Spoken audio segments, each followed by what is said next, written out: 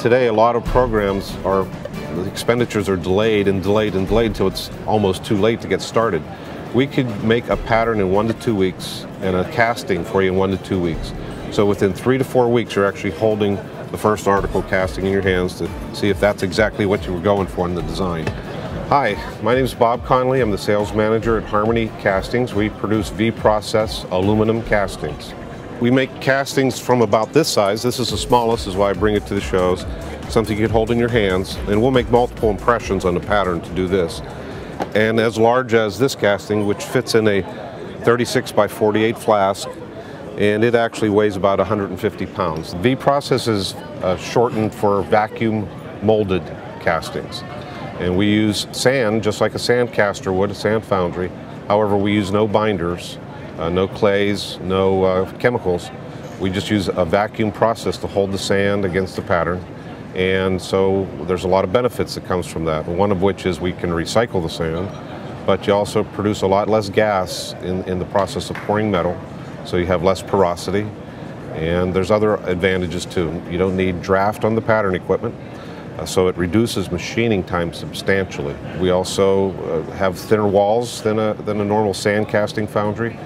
Uh, we can produce down to 125 thousandths wall thickness or about three millimeters.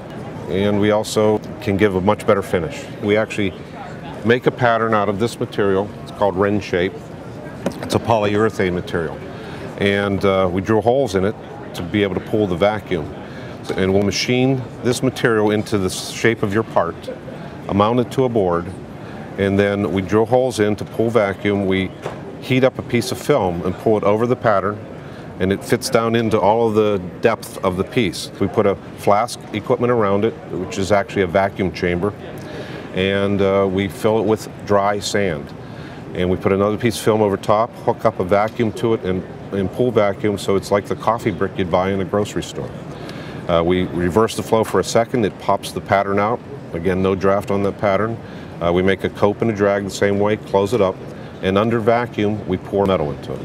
Uh, the metal chills immediately as it goes in. It melts the plastic, and the sand never touches the metal. And that's one of the reasons you get such a nice sand surface. The patterns are guaranteed forever. It's unlimited pattern life.